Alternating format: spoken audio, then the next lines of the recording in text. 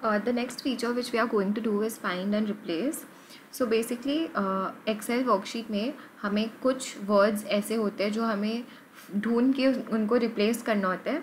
So it's very important that we use this kind of feature over there basically कब use होते हैं? Let's suppose different companies maybe have different format of presenting different sets of accounts like not the way of presentation but the accounts the name of the accounts which we follow or in one company itself there are many teams and हर एक team ज़रूरी नहीं कि same words use करें तो उन words को same करने के लिए हम लोग फाइंड एंड रिप्लेस यूज़ करते हैं कभी स्टेटमेंट ऑफ़ पी एल होता है तो वो कहीं पे इनकम स्टेटमेंट लिखा हुआ होता है तो वो सारे केसेस में हम लोग ये वाला ऑप्शन यूज़ करते हैं तो यहाँ देखो सबसे पहला इसका शॉर्टकट इज़ कंट्रोल एच और you can find it in the home tab now let us take one example and start suppose मुझे यूनिट्स लिखा हुआ है। This is a table with which I have with my self units को मुझे change करना है quantities में।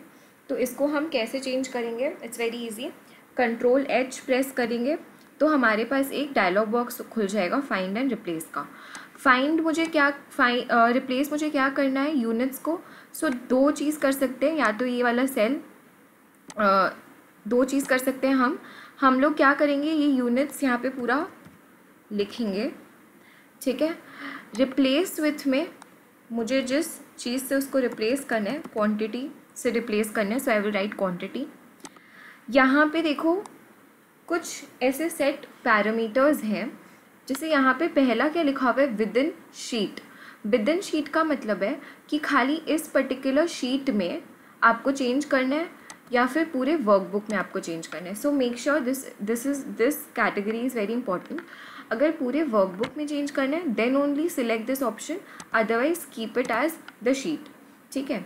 अब क्या होता है, जब विद इन शीट हम सिलेक्ट करते हैं तो इस शीट में फीचर्स टू में जितने भी सारी यूनिट्स जहाँ जहाँ लिखे होंगे ना, वो क्वांटिटी से रिप्लेस हो जाएँगे। ठीक है?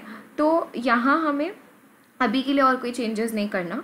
I just click replace all and देखो क्या आया? Excel has completed its search and has made one replacement so basically it has made one replacement and I close this dialog box तो मेरा एक रिप्लेसमेंट यहाँ पे हो गया। So what we have now we have used uh, the option of the entire workbook option only when you are sure about the replacement so only when you are sure about the replacement कि आपको पूरे workbook में सारे worksheets में change करना है then only select the entire workbook option otherwise just select this worksheet option which we did right now when uh, when want to apply to a selected area select the cells and then perform so instead of performing this particular replacement for the entire worksheet अगर खाली इस particular cell range के लिए करना होता तो हम इसको पूरे को सिलेक्ट करते। कंट्रोल एच से मेरा डायलॉग बॉक्स ओपन हो जाएगा। नाउ लेट्स से सपोज़ हम प्राइस को चेंज करते हैं एंड उसको हम बनाते हैं अमाउंट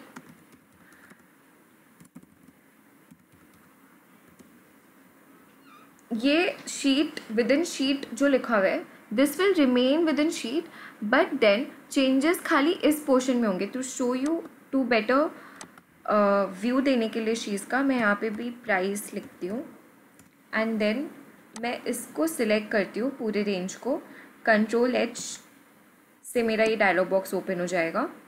अब इस डायलॉग बॉक्स में I have written find price replace with amount sheet ही है एंड रिप्लेस कर देंगे हम।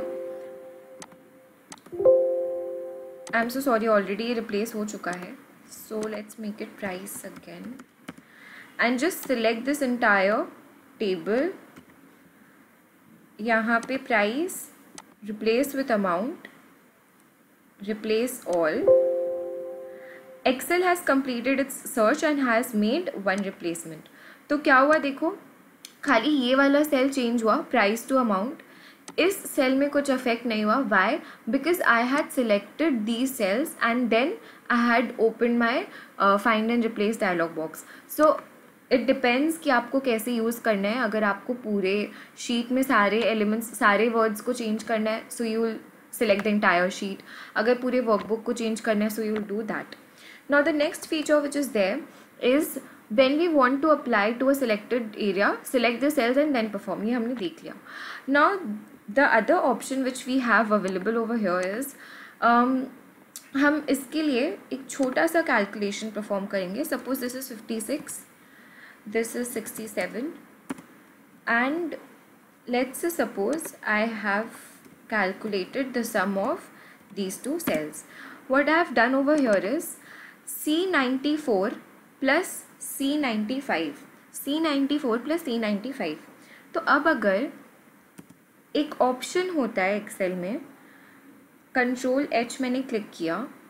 यहाँ देखो फाइंड ये मेरे सेल में, ये मेरे सेल में मैंने यहाँ पे क्या किया था? सी नाइन्टी फोर किया था प्लस सी नाइन्टी फाइव किया था, है ना? तो अब देखो हम लोग क्या करेंगे। एग्जैक्टली कंट्रोल एच पे क्लिक किया मैंने। एंड नाइन्टी फोर के जगह पे नाइन्टी फोर के जगह पे I make it I make it let's suppose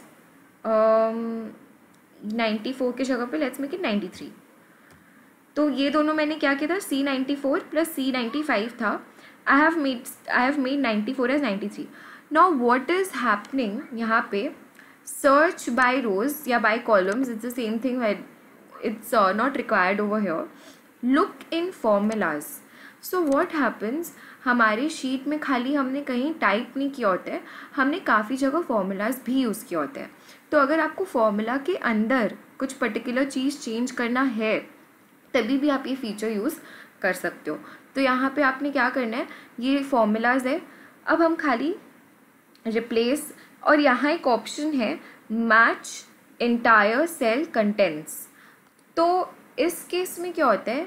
If the entire cell content is not matching तब वो चेंज नहीं होगा। यहाँ पे ये ऑप्शन अभी अनटिक्ड है। हम लोग नॉर्मली परफॉर्म करते हैं। एंड देखो there is one replacement which which have been made over here क्या हुआ देखो? C ninety three plus C ninety five हो गया। तो जो नाइन्टी फोर था यहाँ पे सी नाइन्टी फोर था यहाँ पे that has become now C ninety three क्योंकि हमने नाइन्टी फोर को किससे रिप्लेस किया? नाइन्टी थ्री से। अब एक और ऑप्शन है let's make it same again let's make it C ninety four again तो अब एक और ऑप्शन है हमारे पास। I am making ninety four as ninety three same thing I am doing but यहाँ पे मैं ये वाला ऑप्शन टिक कर रही हूँ। मैच इंटायर सेल कंटेंट्स इससे क्या होगा ना? ये जो हमारा सेल है, इसमें जब तक ये पूरा सी नाइन्टी फोर मैच नहीं होगा, तब तक ये रिप्लेसमेंट नहीं होगा। तो ट्राई करते हैं, देखते हैं होता क्या है।